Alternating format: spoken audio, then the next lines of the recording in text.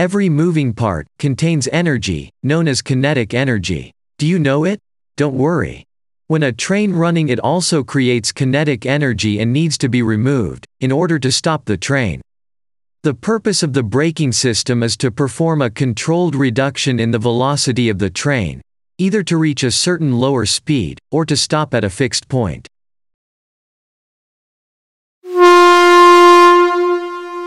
The railway braking system is known as the compressed air brake system. What is a compressed air brake system? Do you know it? It is a system, where the air is drawn into a compressor, and stored in the main reservoir.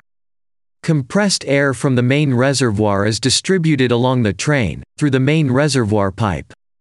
On each vehicle, the pipe is connected through a triple valve to an auxiliary reservoir, which stores air for use on that vehicle's brake system.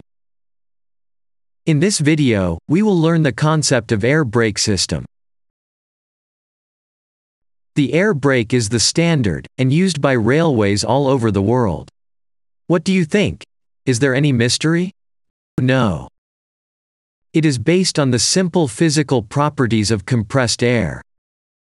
In 1869, an engineer named George Westinghouse invented the first triple valve air brake system, after considering the importance of safety in the railroad industry. However, his system worked the opposite way of a direct air brake system. Air brakes work on the principle of conversion of energy. Generally in trains, while it is moving, it produces kinetic energy. This kinetic energy has to be reduced to make the train stop. Here, the air is used to reduce kinetic energy, by converting it into heat energy. Let's learn the basic concept of the air brake system.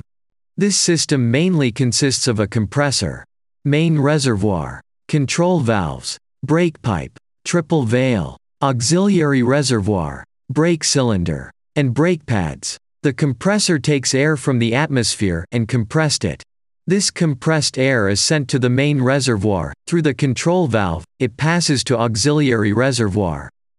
This air supply to brake cylinder through the triple valve. The brake valve is controlled by the driver, who can control the intensity of braking, according to the requirement. When the driver pushes the brake or apply the lever, the pressure in the reservoir decreases, which pushes the brakes pad toward types, and applies brakes.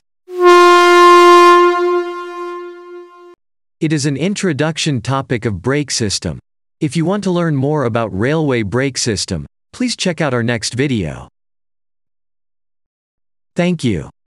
Let's grow up. Never stop your learning.